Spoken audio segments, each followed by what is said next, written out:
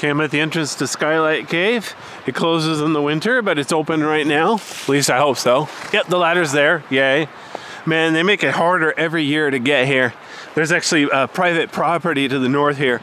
So, yeah, it's kind of a long drive to get around here. But there's the metal staircase I'm going to take down. But before I do that, I want to check out ground level, do some sightseeing, make it worth the crazy drive here. There's also a log there. I think that's like if people want to sneak in when it's closed, they like climb down that log. But keep in mind if you screw it up, you're going to fall down 30 feet. So, yeah. Is it personally, I just wait until it's open. I don't see what's so hard about that. Anyway, but yeah, there's the uh, entrance. Well, this is all the entrance, but like I said, there's a cool metal steel ladder there.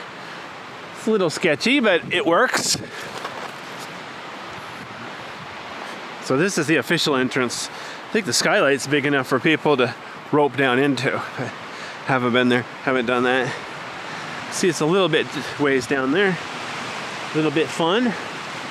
See if I can get over here without plummeting to my doom.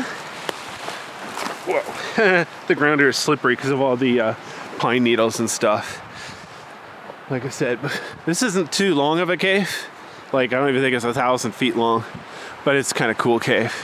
So, before I uh, bother to go inside though, I'll go ahead and tour the ground. You can drive here and park here, but what's funny, a few hundred feet back along the road, the only sign is just some random sign that says, please park here. So if you didn't know what you were getting into, it'd be like, why would I park here? Where in the world is here? But anyway, let's see. I think I can go through these bushes or around them. This is public property. Like I said, there's north, there's private property to the north now, so can't go wandering too far, I suppose. See, there's a trail here. Watch your step. And watch other people's step.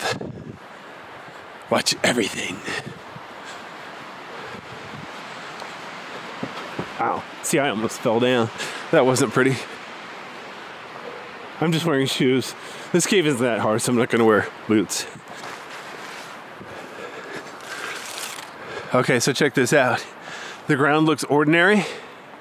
Look at this. There's a hole here. That's one of the skylight entrances to the cave. Two feet in diameter. Oh, wow. You can see here dozens of feet down. So, yeah. Guess if you really wanted to sneak into the cave in the winter, you could climb a rope down there. But like I said, you could just come here in the summer and climb down the ladder like a normal person. So, whatever. And check this out. Here's another skylight.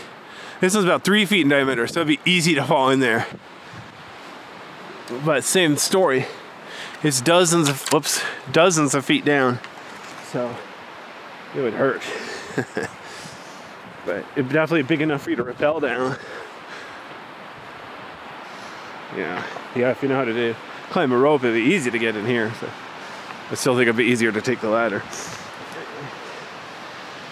Would be fun though to climb in here legally in the summer when you know get a what's it called get some pictures or video okay looks like that's the end of the trail i don't remember if there's another skylight let me go a little farther here oh yeah see on top of this rock where the ground bulged out there we go skylight barely big enough you could fit through there but if you're really dumb you could fall there and there and get yourself killed so don't do that. I'm gonna wait until I'm old to die, hopefully.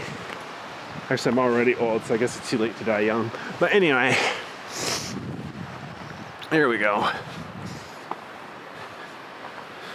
Uh, ow, okay. So there's that one middle skylight, the big famous skylight. I'll go ahead and keep shooting the same video all the way back to the entrance. Although I'm gonna probably have to stop to get you know what my uh, flashlight out. It's weird. They clean the bush around here, brush around here. I'm not sure why. Hmm.